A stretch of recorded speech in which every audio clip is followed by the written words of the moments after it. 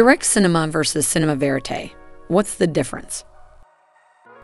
Direct cinema and cinema verite are commonly used techniques in documentary filmmaking. They each bring unique perspectives. Understanding these methods can greatly enhance your storytelling abilities, but their distinctions can be a bit confusing. What is direct cinema? Direct cinema offers an unbiased, authentic perspective. It captures subjects naturally, creating an entertaining, timeless audience experience. North American filmmakers favor direct cinema. It prioritizes simplicity and unobtrusiveness over complex equipment use, offering budget friendly options. What is cinema verite? Cinema verite, translating to film truth, focuses on delivering an authentic narrative using various production techniques.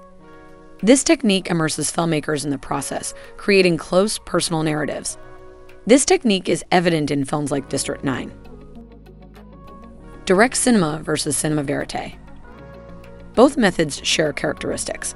They employ handheld cinematography and present real life subject narratives to engage audiences.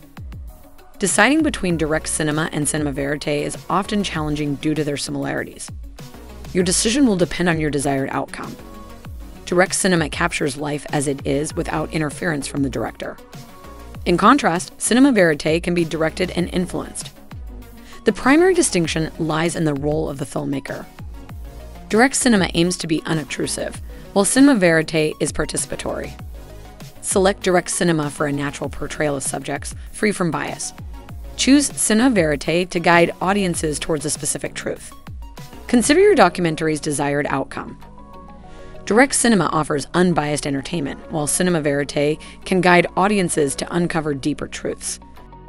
For more great industry info, like and subscribe to Beverly Boy Productions today.